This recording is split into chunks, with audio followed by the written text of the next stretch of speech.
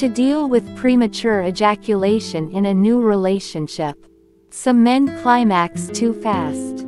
When it's a new relationship, it can be kind of flattering.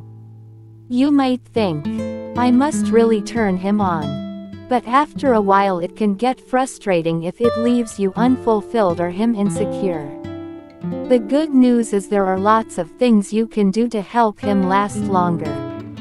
Have him do the Valsalva maneuver and build up his PC muscles. Join in the fun by doing your kegels.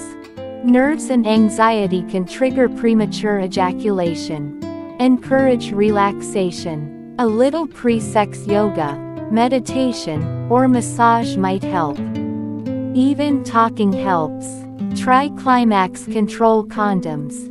They feature a slightly numbing lube to desensitize him. Don't worry. The lube is in the condom, so your lala doesn't get desensitized. Learn the Masters Johnson squeeze method and try it. They say this is effective for 98% of the couples who perfect the technique.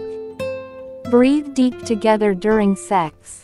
Have him control his breath and go for deep, long breaths in through the nose and out from the belly. This is surprisingly effective and relaxing. Play around with positions. Missionary is known to get guys there really fast. Try doing it with you on top. You'll control the movement and pace, so work with him to keep it calm and make it last. Bonus. This position will probably help you get there faster. Have him masturbate a few hours before you two go at it. It's like he gets the first orgasm out of the way and can prolong the next one with you. Win-win. Thanks for watching.